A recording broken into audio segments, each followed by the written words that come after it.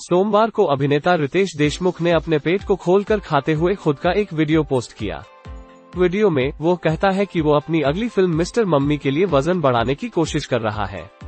रितेश की पत्नी जेनेलिया डिसूजा भी नज़र आएँगी। ये कम कैलोरी वाला भोजन रितेश ने फेसबुक पर लिखा। उन्होंने बैकग्राउंड में एक शान लाइन भी जोड़ी। अजीब जानवर है, संवाद कहता है। यह कैसा अजीब जानवर है? यह कभी खाना बंद नहीं करता, जब आपका निर्देशक आपको फ़िल्म के लिए वज़न बढ़ाने के लिए कहता है। रितेश देशमुख ने लिखा, पेट और शर्ट के कुछ बटन एक्सपोज करते हुए रितेश चपाती, चावल और करी खाते नज़र आ रहे हैं। मुश्ताक शेख ने कहा, मैं भी वज़न बढ़ाना चाहता हूँ।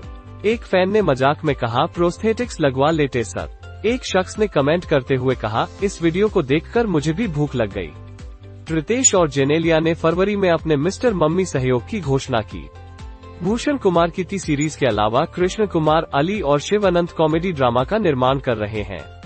मिस्टर मम्मी एक ऐसे जोड़े के बारे में है, जो बच्चों के बारे में विरोधी विचार रखते हैं, लेकिन नियति के पास बचपन की प्रेमिकाओं के लिए कॉमेडी और ड्रामा की पागल उबड़ खाबड़ सवारी के लिए अन्य योजनाएँ हैं, प्यार के इस श्रम से अप्रत्याशित की उम्मीद करें। मराठी फ़िल्म वेद में भी रितेश और जेनेलिया नज़र आएँगे। रितेश निर्देशन करते हैं और जेनेलिया अपनी पहली मराठी फ़िल्म में अभिनय करती हैं। उनका बॉलीवुड डेब्यू 2003 में तुझे मेरी कसम से हुआ था वे फ़िल्म के सेट पर मिले और 2012 में शादी कर ली